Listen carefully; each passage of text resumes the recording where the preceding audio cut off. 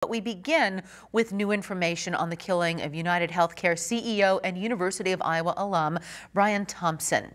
An urgent investigation remains underway in Manhattan, where police say Thompson was shot and killed in broad daylight this morning outside a Hilton Hotel near the Rockefeller Center. Tonight, new surveillance video shows the moment Thompson was shot. Uh, police are now reviewing the footage as the search for the suspect intensifies. Police are also saying this was a premeditated premeditated, targeted attack.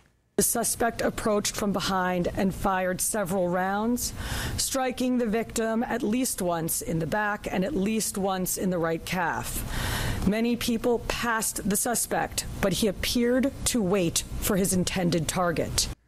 Police are currently interviewing Thompson's colleagues and family about potential specific threats who could have targeted him.